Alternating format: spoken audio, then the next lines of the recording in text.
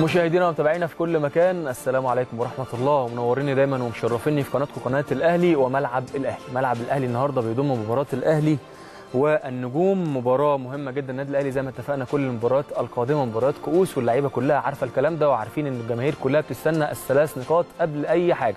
إن شاء الله يكون اللعيبه النهارده عند حسن ظننا كالعادة وإن شاء الله ناخد الثلاث نقاط الهامة جدا. أبرز ما حدث اليوم هو تقديم المدير الفني الجديد للنادي الأهلي الأهلي مارتن لاسارتي المدير الفني وأقول لكم أبرز تصريحاته وأيضا تأجيل مباراة الأهلي وجيما الأسيوبي اليوم الحد أعتقد إن هو كان قرار مهم جدا من الاتحاد الأفريقي إن هو يأجل مباراة. الله أعلم أجلها ليه لكن في مصلحة النادي الأهلي تماما إن هو يؤجل هذه المباراة ليوم الأحد عارفين الضغط الكبير على لعيبة النادي الأهلي الضغط البدني كمان. أعتقد المباراة هتريحنا 48 ساعة يكون فيها الأهلي عنده أريحية أكبر في ضغطة المباريات. هتسبب ربكه لاتحاد الكورة.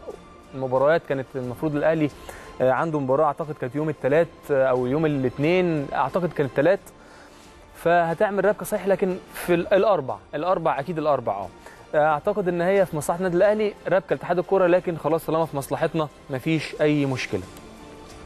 الكابتن سيد عبد الحفيظ النهارده بيقدم لاسارتي أو النادي الأهلي كمان بيقدم لاسارتي في مؤتمر صحفي. سيد عبد الحفيظ المدير الفن المدير الكرة بالنادي الأهلي قال إن هو سعيد جدا جدا بتعاقد النادي مع الأوروجواني مارتن لاسارتي المدير الفني الجديد لفريق الكرة بالنادي الأهلي متمنيا أن يكون للمدرب بصمة في تاريخ القلعة الحمراء. سيد عبد الحفيظ قال في المؤتمر إن المفاوضات لم تستغرق وقتا طويلا نظرا لرغبة الطرفين في إتمام التعاقد الذي يمتد لمدة موسم ونصف أكيد يا كابتن سيد ومين ما يتمناش إن هو يكون قائد القلعة الحمراء. زي ما حضراتكم شايفين آه لاسارتي وأول ظهور ليه بالتيشيرت الأحمر لفتة طيبة جدا.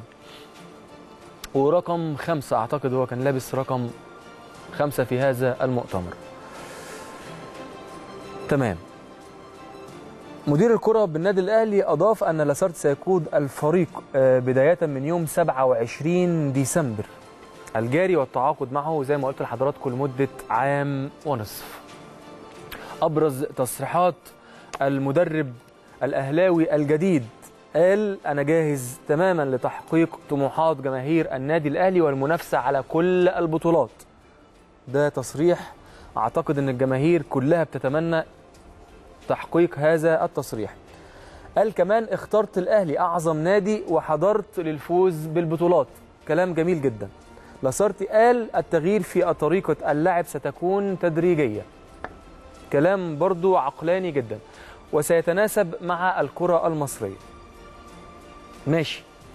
قال كمان أنا على علم بالإصابات الحالية في صفوف الفريق وسأعمل على وضع الخطة المناسبة لتفادي هذا الأمر في المستقبل سواء من خلال الإعداد المميز لبعض اللاعبين أو اختيار طريقة معينة لتفادي هذا الأمر.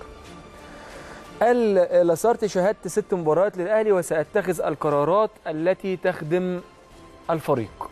دي كانت أهم تصريحات مارتن لاسارتي المدير الفني الجديد. أهلا وسهلا بيك في مصر واهلا وسهلا بيك في القلعة الحمراء اللي بتشرف وبتزيد من اسم أي مدرب بيمسك هذه القلعة الكبيرة جدا وهو عارف وتصريحاته بتدل إن هو عارف النادي الأهلي كويس جدا ومذاكره كويس جدا. تصريحات هنناقشها مع ضيوف الكرام كلها تصريحات إيجابية جدا وده المفروض إن هو يعمله طريقة اللعب واختيار اللعيبة اللي هتناسب طريقة اللعب أو الإصابات أو الكلام ده كله هنناقشه مع ضيوفي الكرام اللي هيشرفوني بعد قليل.